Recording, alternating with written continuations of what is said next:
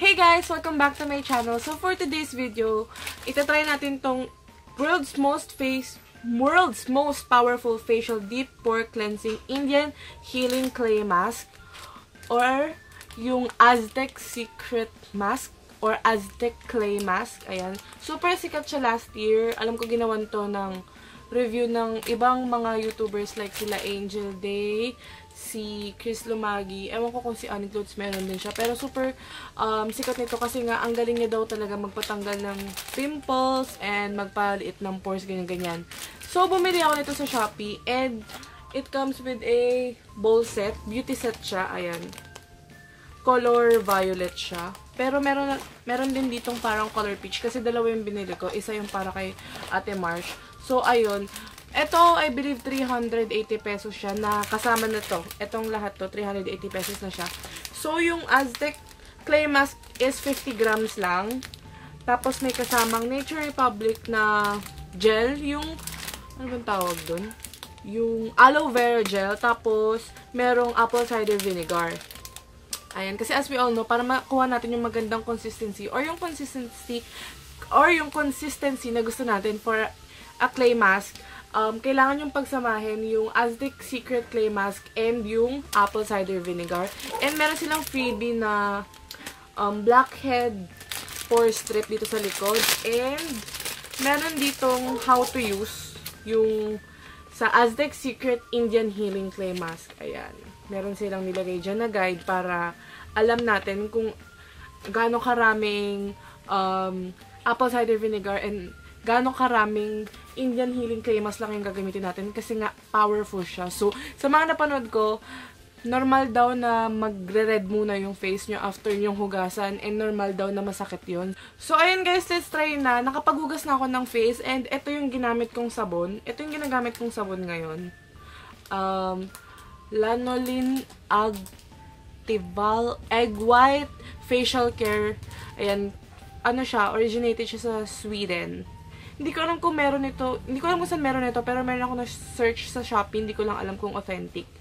Kasi napanalunan ko lang to eh, sa giveaway last year. So, tinry ko. And maganda siya guys. Kung gusto nyong parang um, yung pores nyo para lumiit or parang banatin yung mukha nyo. Kasi ayan o, kung nakikita nyo, may nagre-reflect na parang meron akong highlight or parang ang shiny ng face ko. Pero hindi yan oil. Ayan o, hindi yan oil. Puto yung tuyo yung mukha ko, guys.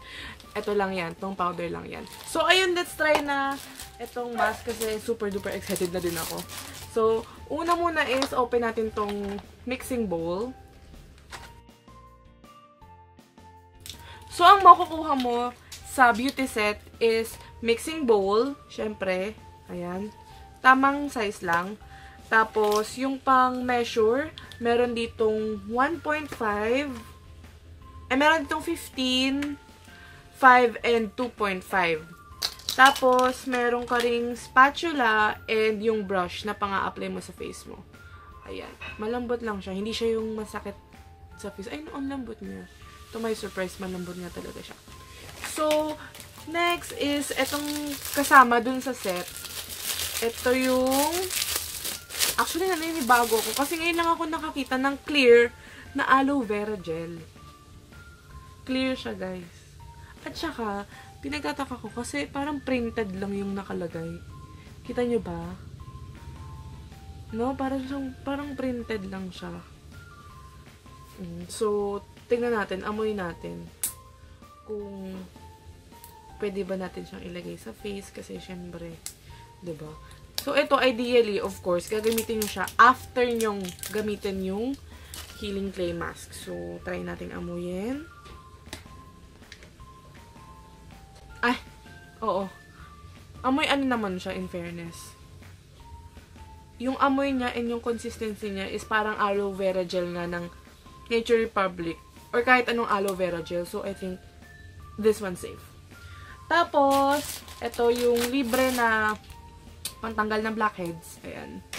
Tapos, yung apple cider vinegar na 50 ml lang din. Wait lang, open natin.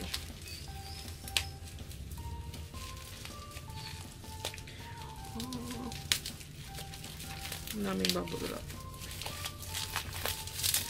So, ayan. 50 ml lang din siya. And printed siya ulit, guys. Ewan ko kung dapat ba ako maniwala. Pero, ayan. Printed lang itsura niya. Pero wag natin siyang i-judge. I think ito yung version ng mga tingi-tingi. Kaya nililagyan na lang nila ng label. Then, of course, ang ating main event. Wow. Ito yung um, Indian Healing Clay World's Most Powerful Facial Deep Pore Cleansing Deep Pore Cleansing. Ayan. Aztec Secret na mask. I'm so excited. Actually, mayroon akong friend. Yung friend ko si Amal. Mm, um, nag-try siya nito and hindi sa kanya gumana kasi meron siyang dry skin. Eh, ako kasi oily yung skin ko. Kaya, I'm hoping, kasi ang dami kong chismis sa mukha. O, ayan, bilangan natin. 1, 2, 3, 4, 5. Ang dami, dyan pa lang yan. Eh, meron pa ako dito.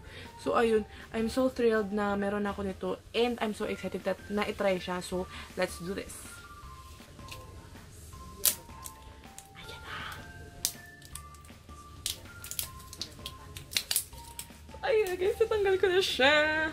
So, let's do this. Sa, napanood ko kay Angel Day. Kung gusto niyo daw na parang itatry nyo lang, yung pinakamaliit na pang na spoon yung gagamitin nyo. And in my case, yung 2.5 yung gagamitin ko.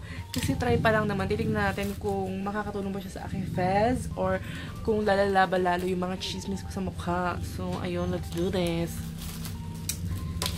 Ay, hello nga pala sa mami ni Ate Janet na palagi daw akong pinapanood gabi-gabi.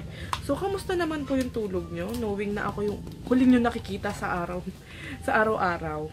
So, ayan. Hi, Tita Diana. So, ayun nga. Takot ako baka masinghot ko. So, oh my gosh. Ang arte ko. So, ayan. Kukuha na ako ng 2.5. Ayan, guys. Pakita ko sa inyo. 2.5 lang yung gagamitin ko. Kasi nga, try lang natin. Ayan. Just 2.5. So, kuha na ako. Yung sakto lang. Saktuhan lang natin. Gamitin natin yung spatula para lahat sila may silbi. Though, hindi ko na sa inyo mapapakita, ha. Kasi, ayan, o. Oh, nababa natin So, ayan na yung 2.5 ni Indian Healing Clay Mask. Lalagyan na natin siya.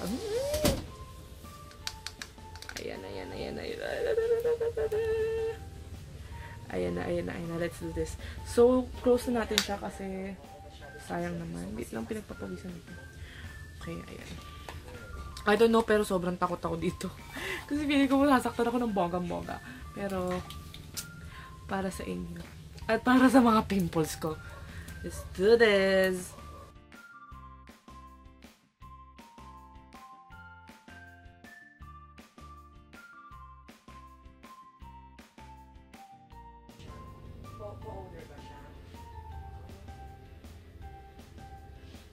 So, ano? Patagalan. Alam, tagal naman dito. Yun. So, inopen ko na siya. Then, pupunuin lang natin siya. Oh!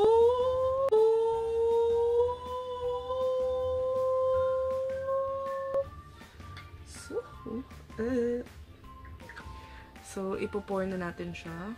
Wait lang, sarado lang natin to. So, ilalagay na natin siya sa mixing bowl.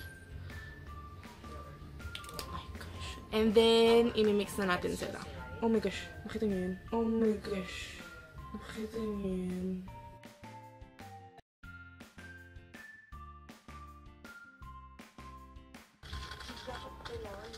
So, ayan. Ang cute niya pala. Ganyan siya. So, try na natin siya. So, guys, try na natin siya. Ilalagay ko muna siya dito sa Kukuha muna salamin. Wait lang.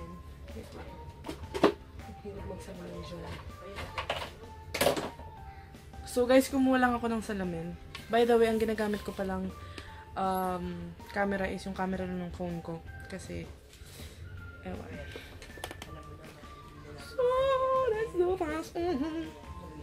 So, gagamitin ko tong spatula sa face ko. Then, ipang spread ko yung brush. So, mag-start tayo dito.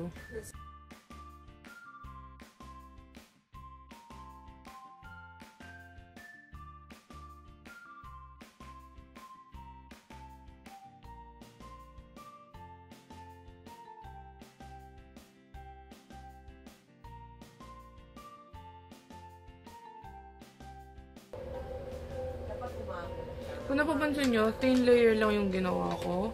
Ayan. So now, antayin lang natin maging 15 to 20 minutes. I'm para sure, gawin natin 20 minutes and I will be back. So, ayun guys, update.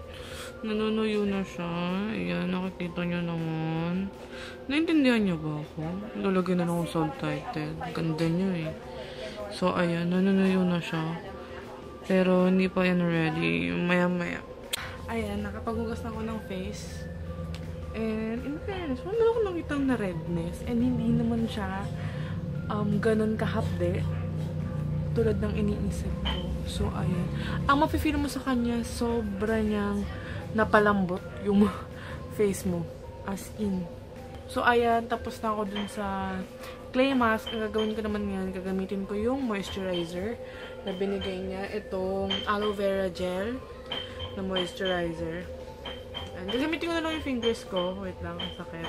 So, gagamitin ko na lang yung fingers ko kasi normally, ginagamitan ko siya ng spatula. And since yung spatula natin is madumi na, fingers ko na lang gagamitin ko. So, huwag tayong ma-arte. So, gamitin ko tong nandito.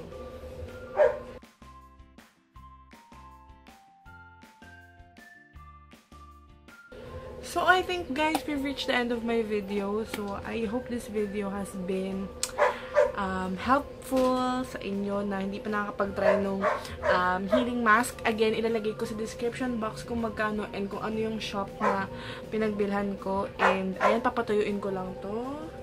And, matutulog na ako. So, ayun. Thank you guys for watching. I hope to see you in my next video. Bye!